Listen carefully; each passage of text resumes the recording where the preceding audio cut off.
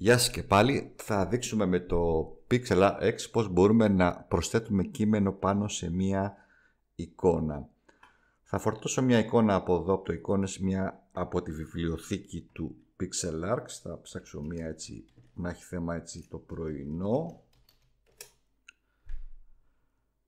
Και θα διαλέξω εδώ αυτήν εδώ την εικόνα για παράδειγμα.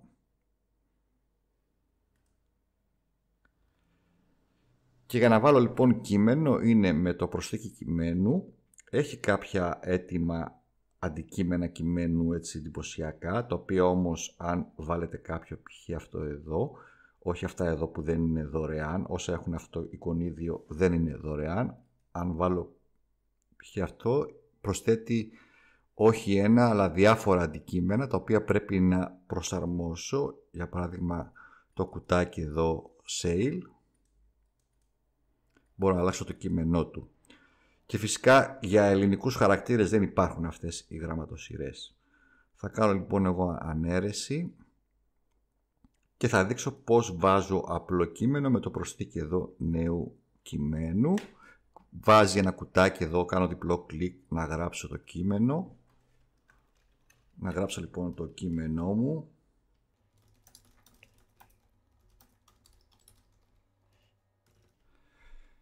Αυτό είναι το κείμενό μου. Βλέπουμε ότι ένα κείμενο μπαίνει ως ένα νέο επίπεδο πάνω από την εικόνα. Είναι αυτό εδώ. Κάθε δηλαδή κείμενο που βάζω είναι ένα νέο επίπεδο και εδώ μπορώ να προσαρμόσω διάφορα πράγματα όπως είναι η γραμματοσυρά αλλά για τα ελληνικά έχουμε πολύ λίγες επιλογές. Έχει εδώ μια άλλη γραμματοσυρά, η άλλη Arial. Ας την αφήσω εγώ όπως ήταν αυτήν εδώ. Φυσικά μπορώ να αλλάξω το μέγεθος. Το κάνω έτσι πιο μεγάλο. Το χρώμα της ε, γραμματοσυράς.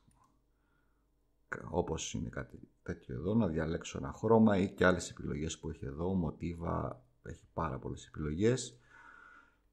Το, την απόσταση γραμμάτων, αν θέλω να είναι έτσι πιο ωραία. Το διάστοιχο είναι όταν έχω πολλές γραμμές, είναι η απόσταση των γραμμών η ευθυγράμμιση, να το κάνω έντονη γραφή και άλλο στυλ.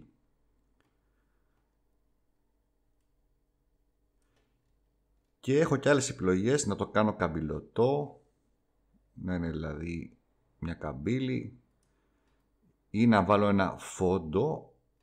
Ας βάλω λοιπόν ένα φόντο έτσι από εδώ ή μπορώ με αυτό το εργαλείο να διαλέξω ένα χρώμα το οποίο υπάρχει μέσα στο στην εικόνα μου έτσι για να ταιριάζει καλύτερα συνήθως.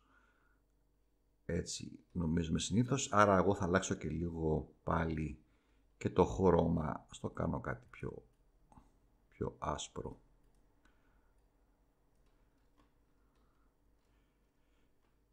Και μπορώ να βάλω και σκιά αν θέλω, το, το οποίο δεν φαίνεται όμως γιατί όταν έχω φόντο δεν φαίνεται τόσο καλά. Τώρα φαίνεται καλύτερα η σκιά.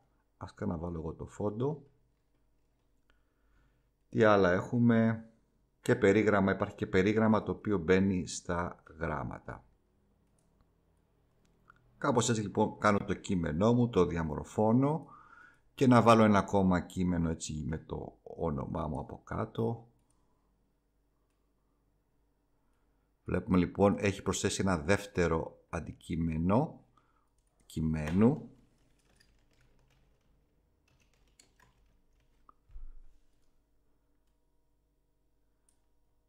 Θα το κάνω και αυτό να είναι έτσι λίγο πιο έντονο.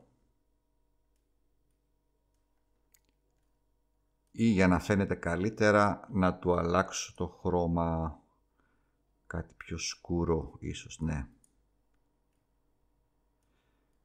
Και αν θέλω μπορώ όλο αυτό, γιατί είναι ένα επίπεδο, μπορώ όλο αυτό να το, να το δώσω μια αδιαφάνεια έτσι ή και να το μεγαλώσω να γίνει σαν ετικέτα.